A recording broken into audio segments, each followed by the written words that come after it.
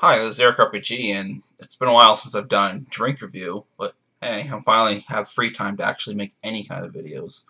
We'll be doing a Let's Play of Wind Waker soon, or the continuation of, but uh, what I've got for you today is Mountain Dew Baja Blast. Yes, you can buy it at stores now, not just Taco Bell. And they come in can, tall boy cans, and this one's the bottle variety. It's, uh, let's see, how many liters this is. It's 1.25 pint of a pint. That says PT. Uh, or 20 fluid ounces. And 591 milliliters. Let's check the ingredients just to see if there's anything different from the normal Mountain Dews carbonated water, high fructose corn syrup, natural and artificial flavors, citric acid, potassium sorbate, which is preserve freshness, caffeine, gum arabic, sodium citrate, calcium disodium, EDTA, protective flavor, sucrose acetate, isobutyrate.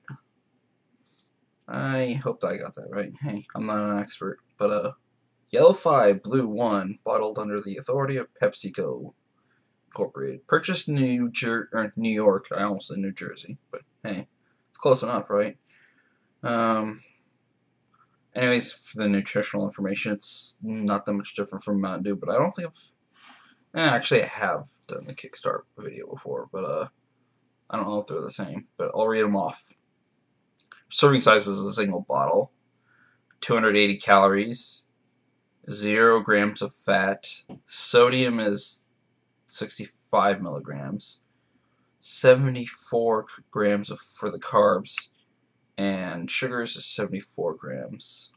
Zero grams of protein. So that's that. Without further ado, let's see how this tastes in comparison to the fountain drink that you would get at Taco Bell. I'm sure they taste different in a can, too. Just because the materials are being contained in.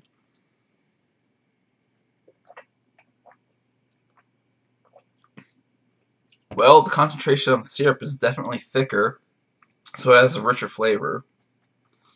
But otherwise, it's actually not too different from what you get at Taco Bell. It's just a little sweeter, that's all. But uh, if you really like the Baja Blast, well, now you can have free rein to buy as many as you want. So now you can get six packs and other things. Well, I hope you enjoyed this video. see you guys later. Bye-bye.